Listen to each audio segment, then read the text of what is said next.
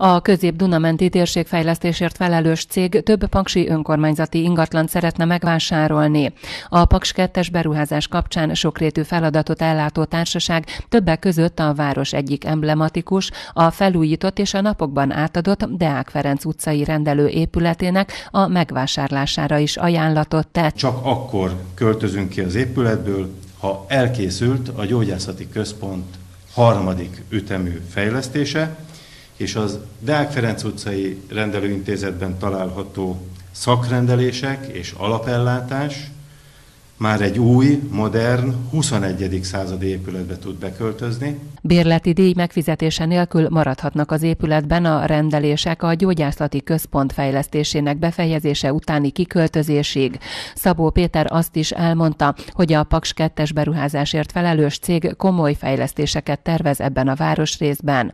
Több városfejlesztéssel kapcsolatos kérelemmel is megkeresték az önkormányzatot. Korábban az ipari parktól délre eső terület már kijelölt megjelölésre került szállás jellegű ideiglenes épületek kialakítására. Most a Cseresznyés felé vezető út melletti Dunamenti Major telephelyén is lakhatási projekt megvalósításához keresik a megoldást.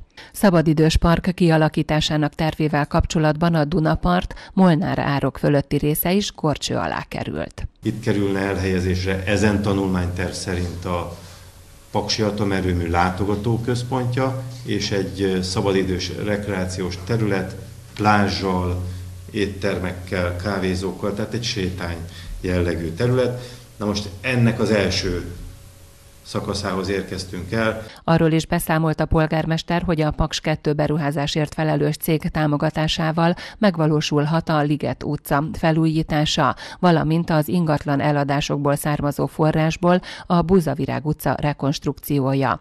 Mindkettőt még idén szeretné megkezdeni a Paksi önkormányzat.